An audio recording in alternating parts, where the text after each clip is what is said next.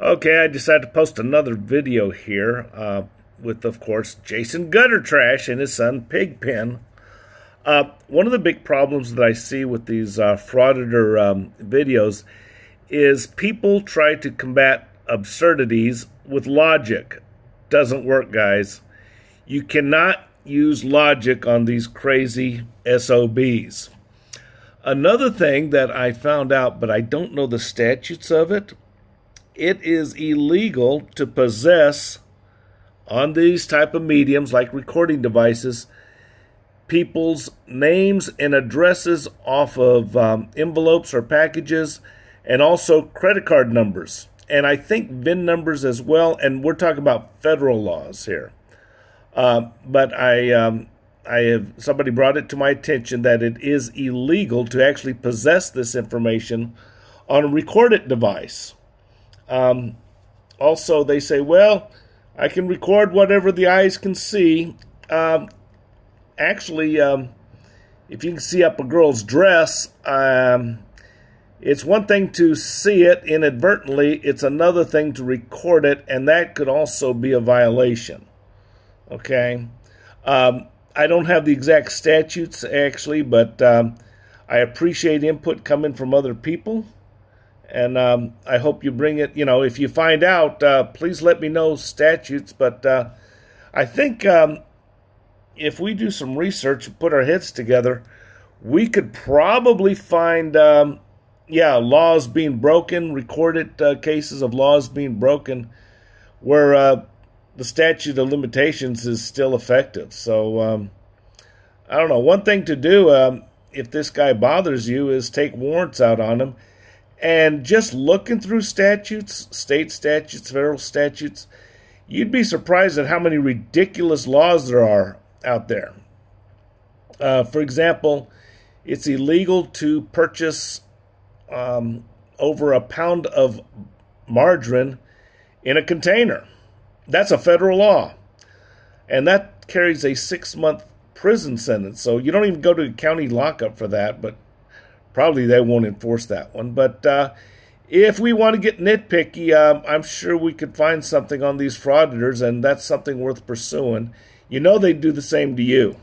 Hello, how are you? Good.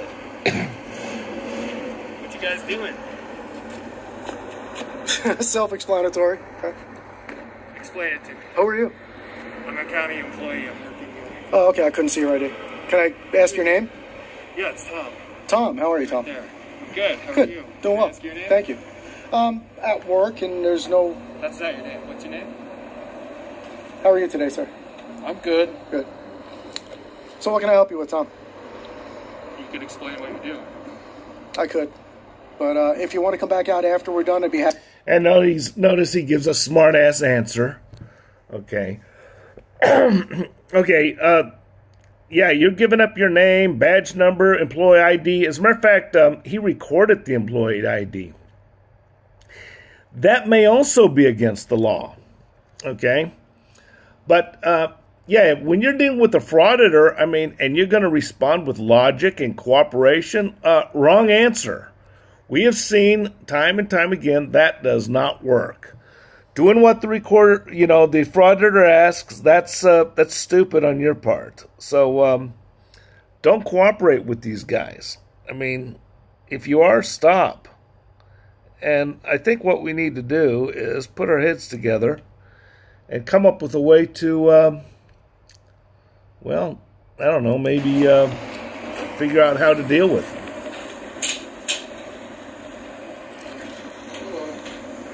Hi. Do I need to call somebody about this? I'm calling Peg right now. Why do I think I'm gonna call our elections director. Sorry, did you know Peg?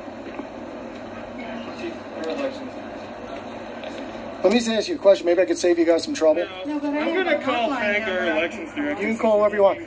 There are obviously some very, very clear cut and dry rules and regulations about what's allowed to happen here. Yeah, so- videotaping people is not one of them. Sure, it is. You're, you're, you're not allowed to videotape people? Is that what you're saying? Well, they're voting. Uh, this is at a voting uh, poll, okay, and he's recording people who are voting. Um, I think there are some uh, statutes that say you can't be near the place recording it or uh, intimidating voters or something like that. Um, the thing is, uh, a lot of these employees they don't have time to look up all these statutes, but now they're going to have to. They're going to have to look them up. Uh, at the very least, call the police and get a case number because with the case number, you're going to need the perpetrator's names. Even if nothing happens, at least there's a record of it. You just told me five minutes ago that you were familiar with the rules. Sounds like you're confused.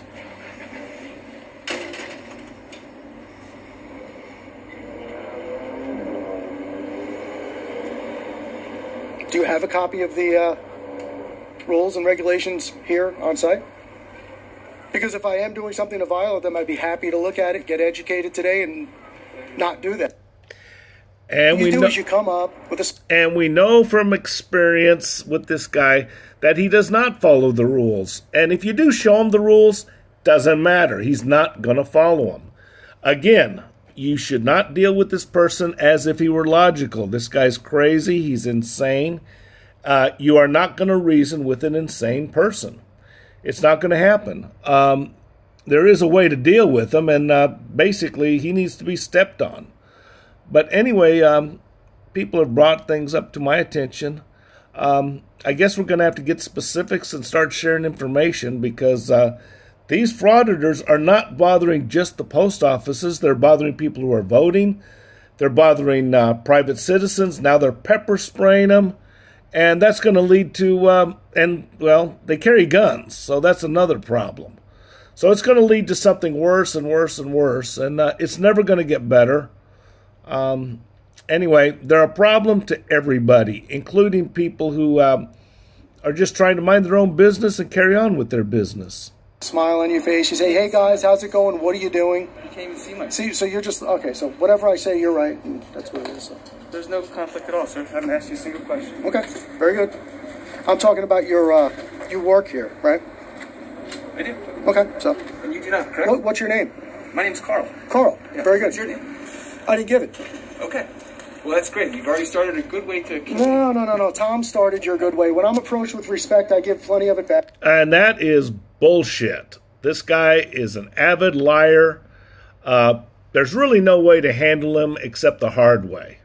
Okay, we got what's called the stick and the carrot method. The carrot doesn't work. I didn't give you your name. What do you need it for? Why'd you ask mine? Because you're a public employee. And you're you're operating in your official capacity. So when you are operating in your official capacity, you, say it again. I can stand wherever I want. I'm well aware of that. Thank you. Appreciate your call. Just uh, you might want to give me six feet there instead of standing right on top of me. good point. Yeah.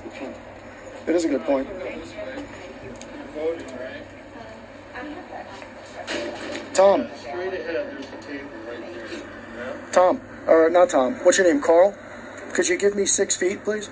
I'm standing here. I work here. You just walked up a foot away from me. You from can me. stand right next to your. I should move because you just walked over here. I was standing here first. Sir, he's violating the six foot rule, so I don't know if you want to do anything about that. If not, that's up to you. Uh, but the six foot rule, that's not a law. I don't have to follow it. Oh, that's a rule. That's not a law. Oh, that's a regulation. That's not a law. I don't have to follow it. The six foot thing, uh, that's really not a rule. That's more of a guideline. And, um, well, and now he's uh, concerned about policies and procedures. No. This animal is a jackass. I'm literally standing here, and he just came and stood 12 inches away from I me. have the right I can smell your breath, bro. You're too close. Even through the mask. Yeah, so why don't you just at least give me some personal space here? I didn't violate yours. Are you trying to. Uh, you violate everybody's personal space. You get in people's faces. You record personal information.